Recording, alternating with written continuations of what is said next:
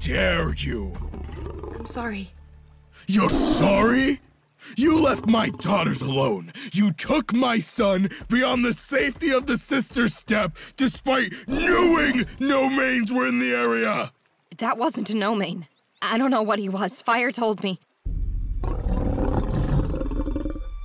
Your brother was here? No.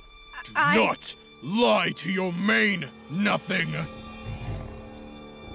Fire just stopped to visit, and Feather insisted on coming, but he wasn't in any danger, I promise. I don't know why the goddesses have punished us with you, but it ends now! You've always been a curse!